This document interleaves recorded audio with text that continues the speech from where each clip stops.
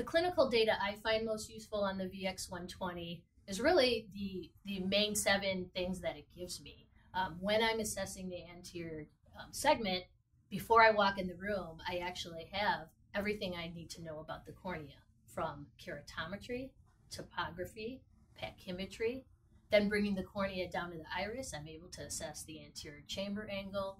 And then even bringing back to the lens, I'm able to see the lens in a whole different way and record it so that my patient can see what I see when I look at their lens, which is very helpful for cataract patients. Um, and then what's really great too, it also gives me a great eye pressure to start off for my exam.